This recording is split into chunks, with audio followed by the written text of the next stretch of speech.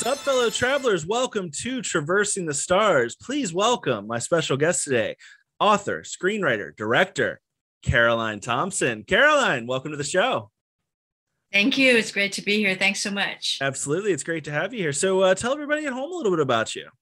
Oh, gosh. We're.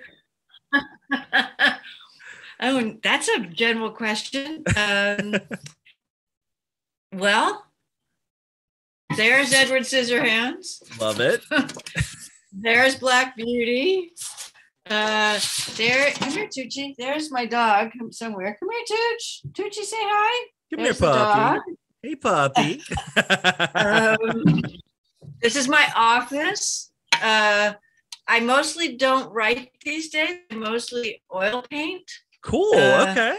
I like I like to oil paint dead people and things, animals. That's awesome. So what got um, you oil painting? I mean, I, I honestly, that is the kind of talent like I can't even relate to. I, I, I can't draw to save my life. So like anytime somebody has any like any kind of talent with like drawing or, or painting or anything like that, it just blows my blows me away.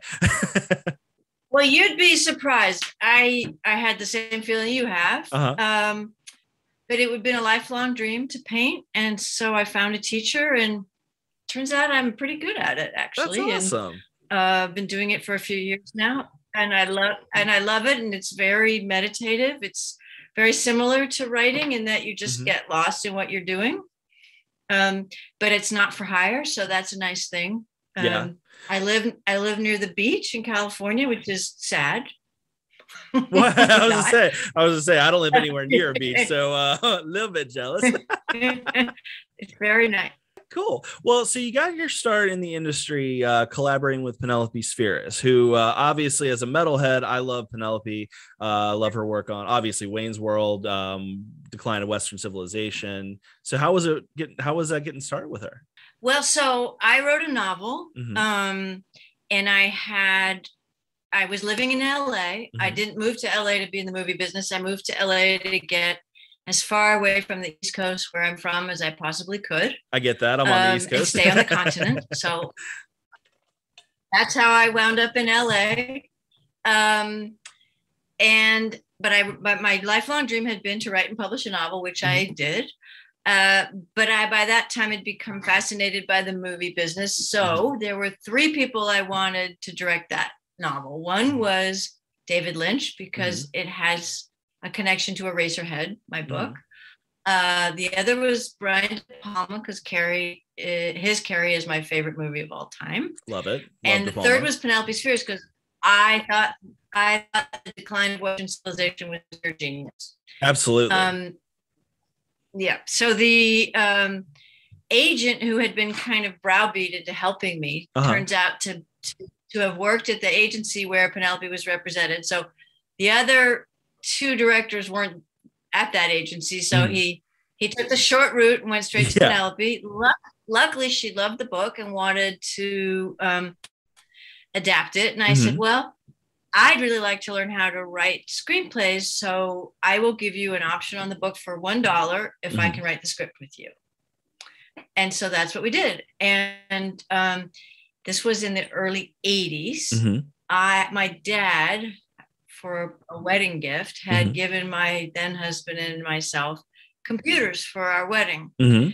Well, this computer weighed 40 pounds. the size of a sewing machine. The yeah. screen was this big. and if you wanted to see, you had to scroll back and forth, you know, Ooh. after like three letters to see what you were writing. Yeah. But you could also you could put in an external monitor. So um, the deal that Penelope and I made was that I would come to her house with my computer mm-hmm. and she would cook lunch.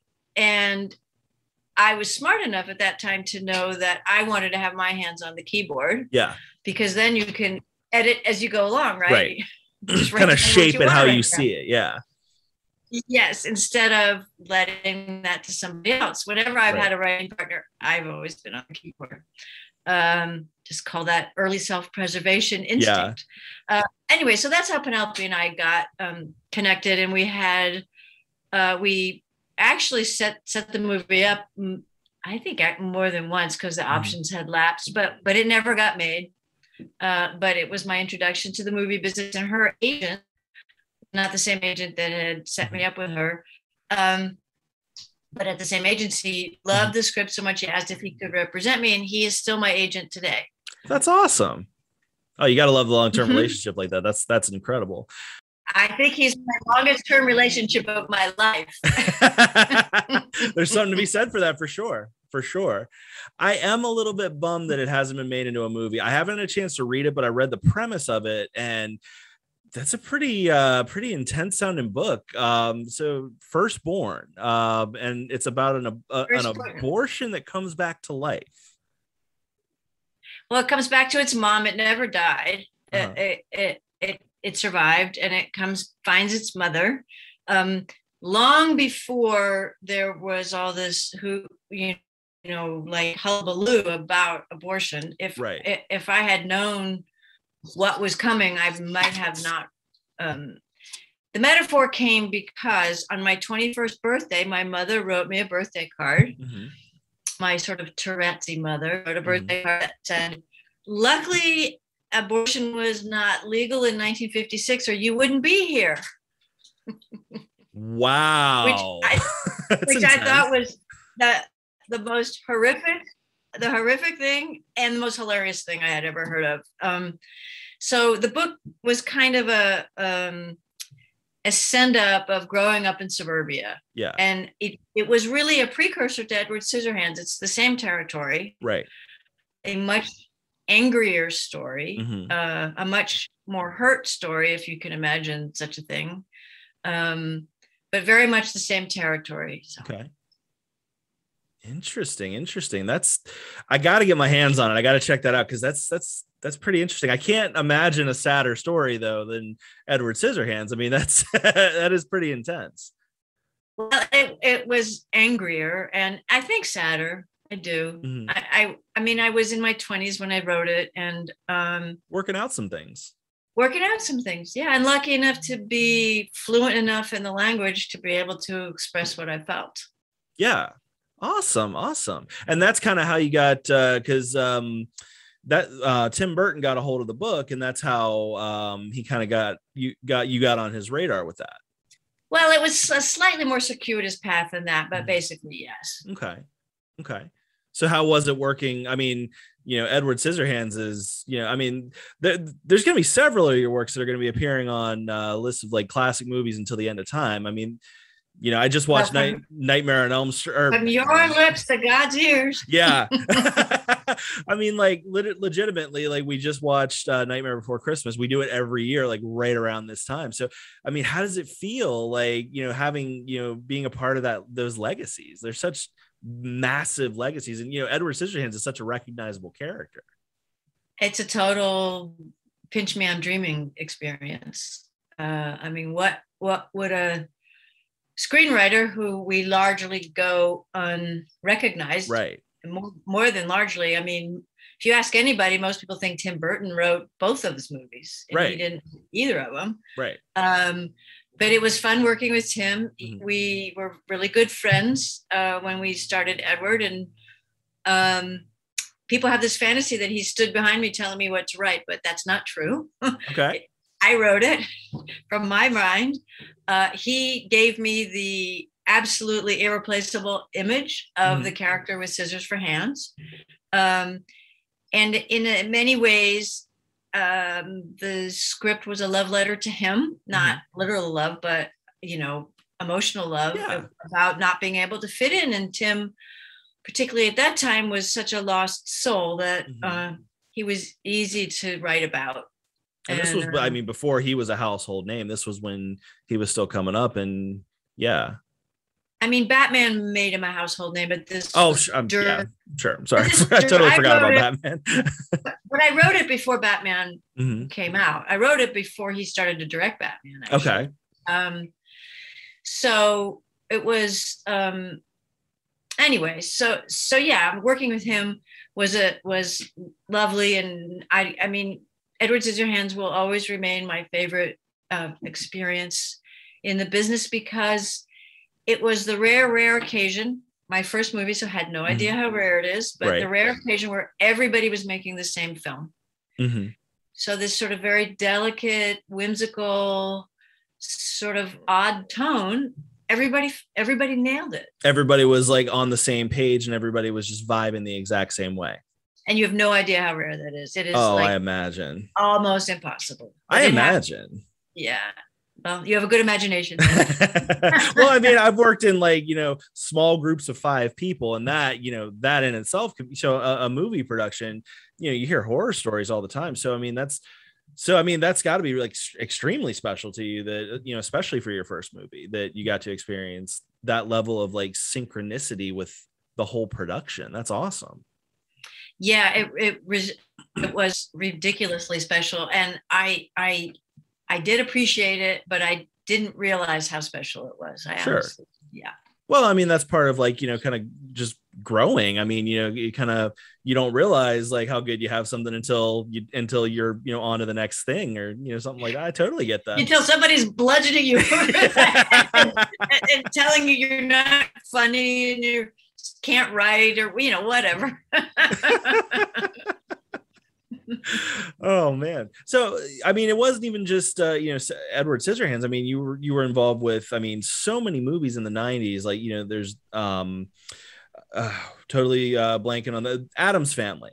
Addams mm-hmm. family. I mean what was that like getting to work on that? Because i mean i feel like that was kind of like one of the first times that like they took a property like that from you know a show and made it into a movie I guess, you know, Charles Addams was a very famous cartoonist mm-hmm. who published in the New Yorker. And when I was a mm-hmm. kid, one of my great joys was looking at his cartoons in the New Yorkers. And I, I loved the TV show, but mostly I thought of it as an homage to Charles Addams. It didn't really get to stay that way. It got much broader than dry. Sure. But um, so that was an interesting one because I was sort of seduced into doing a big movie like that, mm-hmm. which you know is not really me. Mm-hmm. Um, and I don't think I ever got seduced again into a big movie because it's not really what I what where I live. But right. I met I met I, Scott Rudin, the producer, introduced Larry Wilson and myself. Mm-hmm. Larry was one of the Beetlejuice writers, mm-hmm.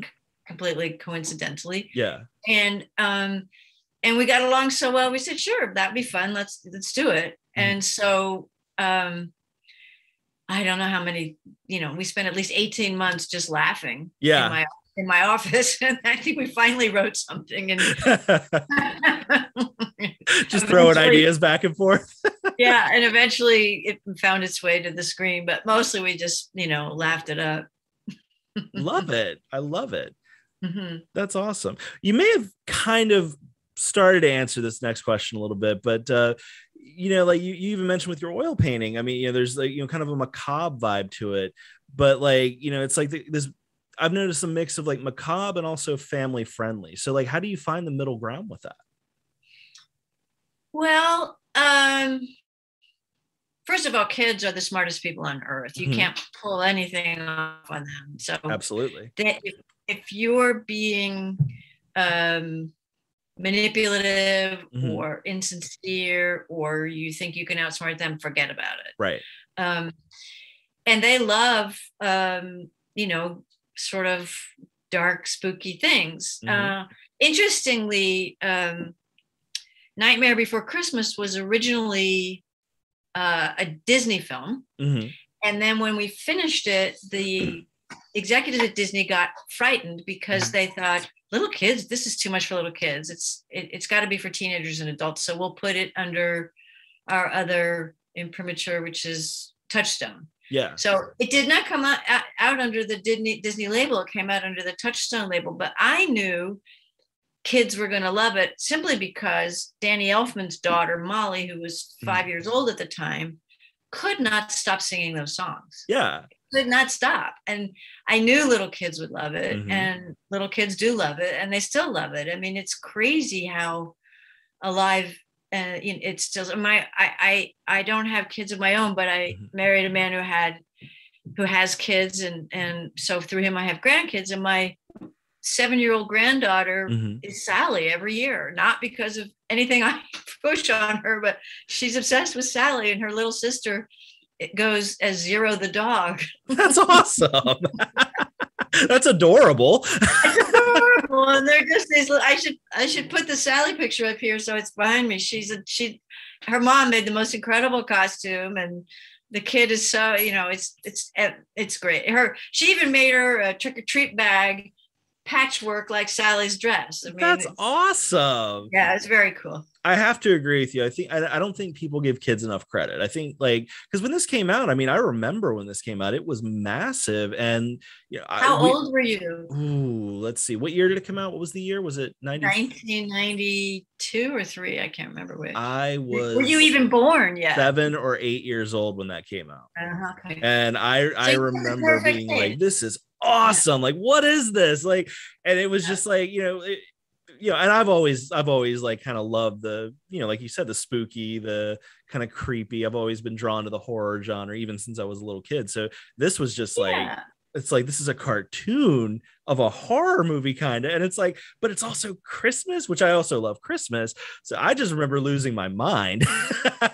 Yeah yeah yeah you're not you weren't alone you got to lose your mind with a whole group of people. And now like new generations are doing it all over and i love it. I know that's pretty wild. I remember i was at a film festival in spain in this this Sitges Film Festival in Spain with a film, and um, one of the European reporters said, Well, how does it feel to have written the most beloved cult movie on the planet? I was mm-hmm. like, What? What movie? I didn't know which movie he was talking about, to be honest. Right. There's I, I, that's a, a that's a high class problem to have. I didn't know he was talking about Edward or Nightmare, but it turns out he was talking about Nightmare. And um, um, every square I've ever been to of of cities in Japan, in mm-hmm. Spain, there, in, in England, there'll be like a Jack Skellington on stilts. Mm-hmm.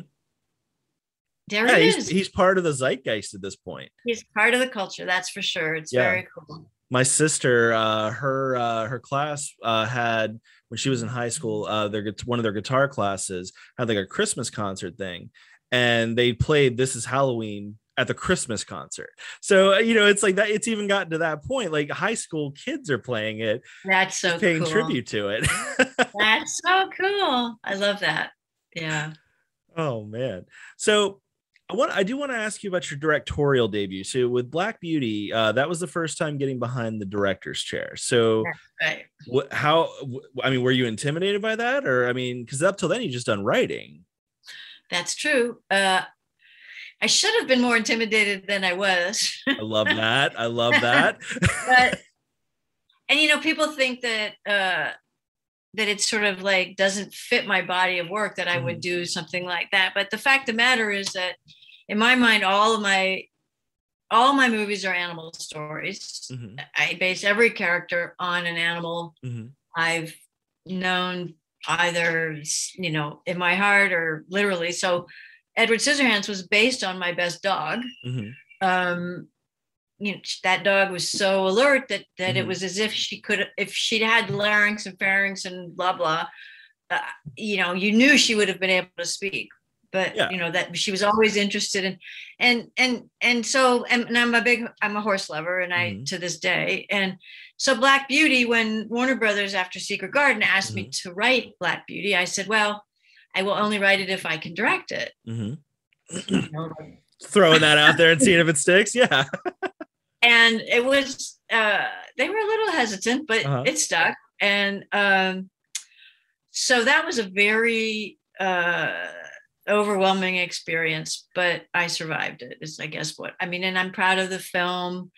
I had a, you know, we weren't all making the same movie every day, right. which was very frustrating. Especially um, after having such a profound experience on the first go right. round. And I tried really hard to communicate, but I think we got there tonally. Uh, mm-hmm. You know, my t- my sensibility is a lot more whimsical than most people's, and so, but I think we got there uh, um, eventually. But I, you know, I there were people on you know on set who thought you know they were going to push me around. There were mm-hmm. people, you know, that I mean, it, I had like my producer hired you know like the cadre of the oldest men in the world i had a right. thousand years of of filmmaking experience around me, but most of them couldn't remember my name. Right. because they were so old.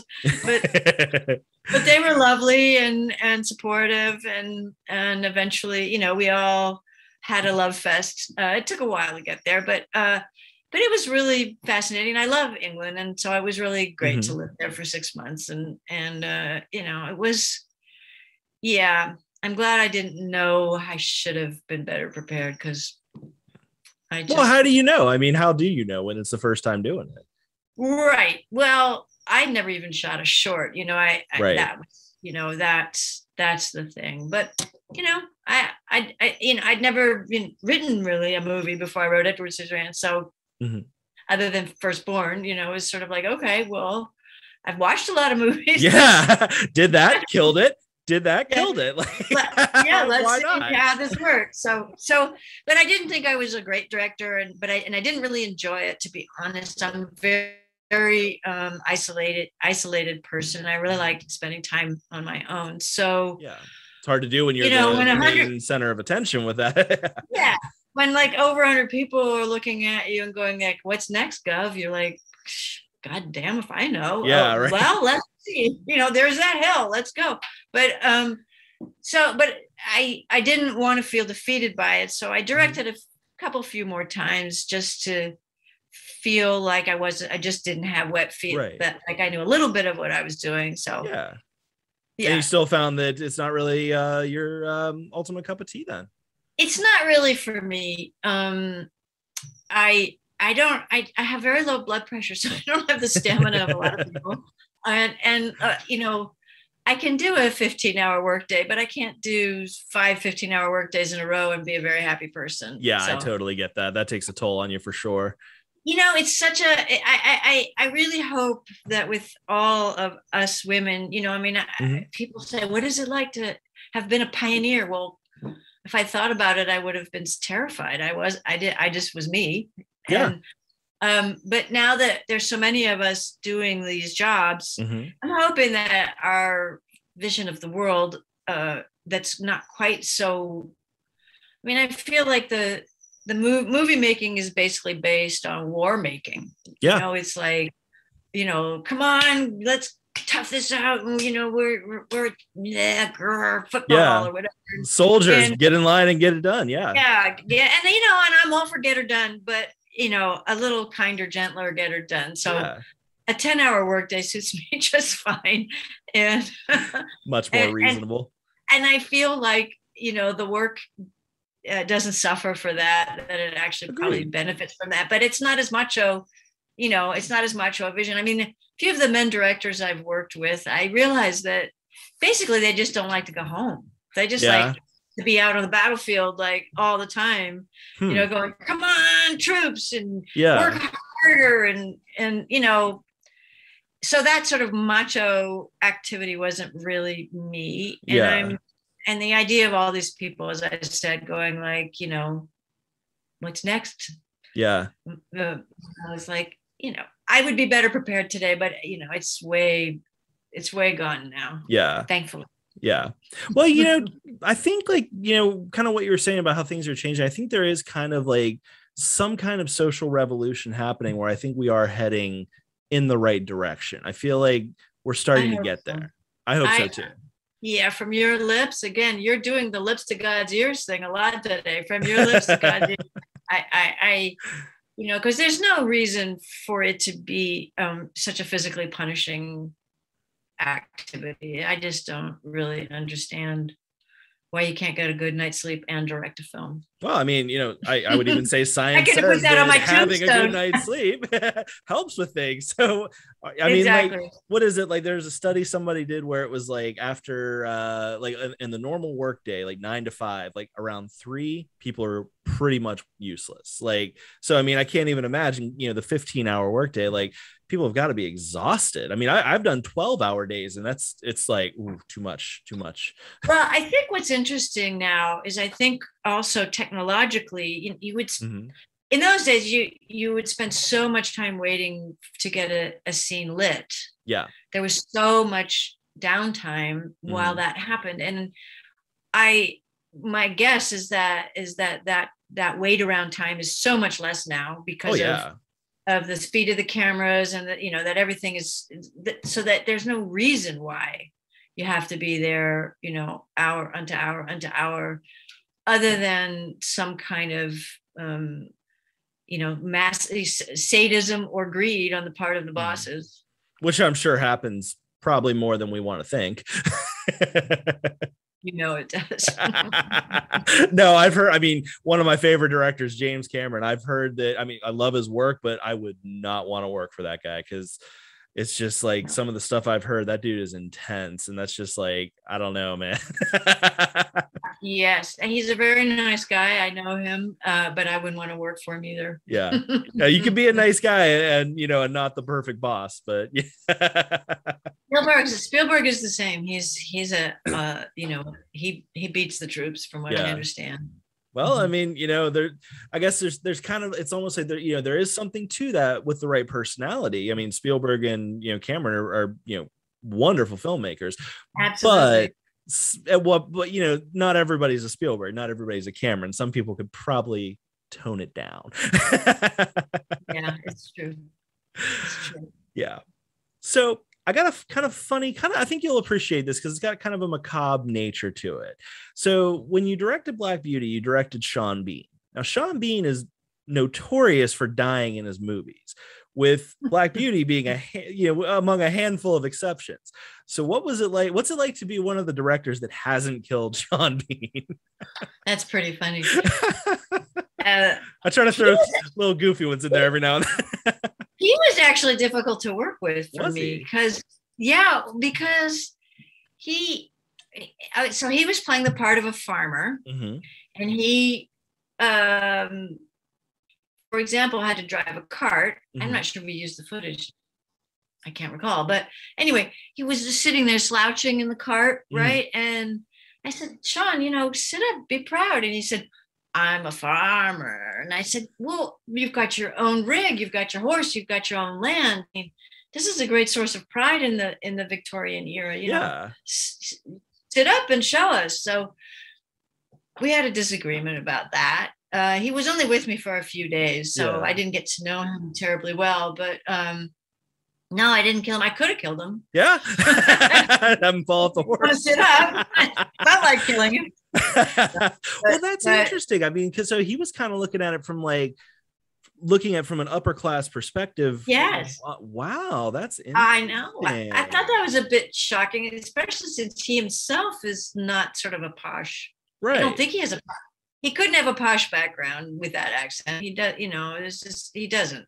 Right. And and and so to so maybe he was just mirroring the sort of sad sacks he grew up with. Yeah, that's true. I mean, that's interesting, though. I wonder. Uh, yeah, it makes you wonder how he got into that headspace. That's. I know. I, I you know, and um, and he didn't want to take riding lessons. He learned to ride later, obviously, mm-hmm. on Game of Thrones. He was very good on a horse, but um, so I often just took him off and had him standing next to the horse, like where the horse is drinking from the pond. I just just stand there, Sean. I know we're over here. Just stand there, because yeah. um, you know he didn't put, you know, he, he seemed not to put have much interest in what he was doing, and I well, hope he doesn't hear this. I don't want to hurt his feelings. Uh, I mean, I hope this doesn't make its way to him because that would that would be me, and that would be no intention of mine to hurt his feelings. He's a lovely guy, but um, well, he, you know, who knows what was going on at the time either. He may have had something, yeah. you know, in his, in his, head that he just wasn't able to get the right focus in or something. Yeah, yeah, exactly. Benefit and of he, the doubt. and he wasn't as big a star then as he is now. So right. I think he had sort of aspirations, and so, and a lot of the actors on the movie, by the way, I would say you. I would say could you take a couple steps to your right because you're blocking our eye line to the horse? It is and about a horse.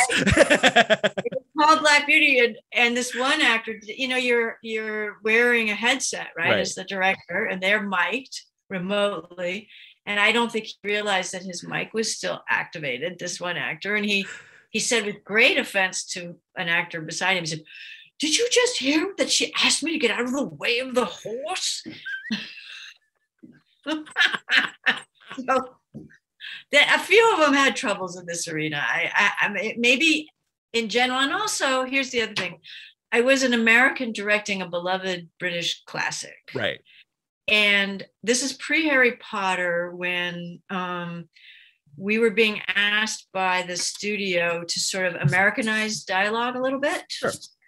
Make it easier for an American audience to understand the, the words right. and make ask people to speak more slowly. That shifted with Harry Potter, um, luckily, but and I was pretty resistant to it. But you know, I would say, you know, could you speak a little slower? Mm-hmm. Or yeah, that inflection is very American. I understand, but that's how I want you to say it, right? Or, or whatever.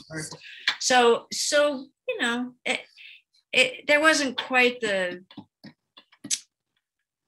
the love of uh, the American audiences uh, that I think blossomed later. Yeah. Well, that's, I, I mean, that makes sense. I mean, that's, you know, kind of culture shock and everybody's, you know, some people are feeling a certain kind of way about it. And, well, and I, and I, we had a royal premiere of Black Beauty and, mm-hmm. um, I did overhear Princess Anne saying something about a Yank, uh, directing a beloved British, you know, iconographic uh, story. So it's like, dude, we're allies now. Come on, let's just let's put that aside.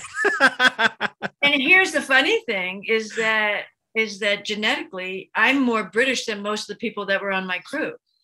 I'm I'm it turns out sadly a hundred percent from the British Isles. Yeah. Genetically.